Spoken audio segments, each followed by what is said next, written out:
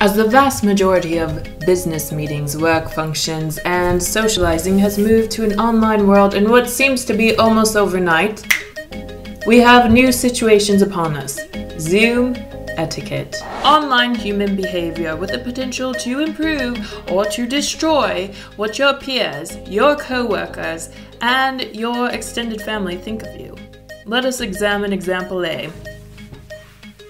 We'll call Betty here, naked and unafraid.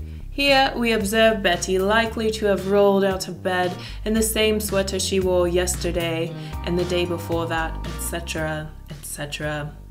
Betty does not have a lot to offer to the meeting, and neither would you if you had this amount of morning breath. Be that as it may, we appreciate her candor, her ability to show her face in full nudity. Betty does need to understand that her co-workers need her feedback more than her yawns. Moving on to example B. Up close and personal. Also, with a fair amount of courageous candor, Dawn here believes that if she moves her screen closer to her face, she will be able to hear the Zoom meeting better. While Dawn's methods may have a positive effect for her hearing, Dawn's peers have no choice but to examine her pores, her lashes, and the inner workings of her nostrils. To avoid this, Dawn simply needs to move the camera a bit more comfortably 3 to 600 feet away and turn her volume up. On the opposite side of this, we have what we like to call the mysterious introvert. It's understood that not all of us enjoy our co-workers seeing into our private lives, but no one detests it more than the mysterious introvert.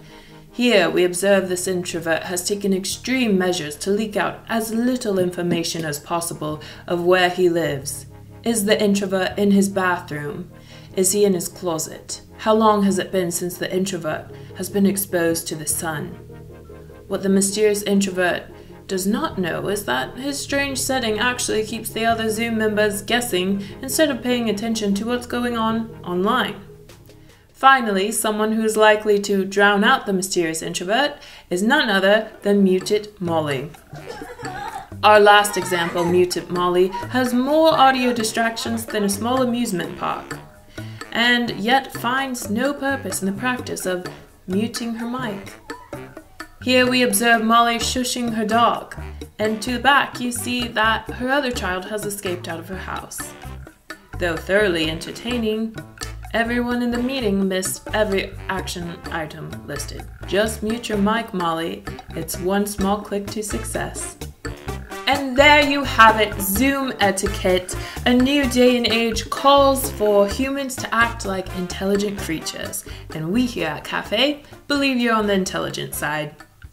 If you have a Zoom etiquette character you'd like to see, leave us a comment in the box. Until next time, stay safe, use your Germ-X,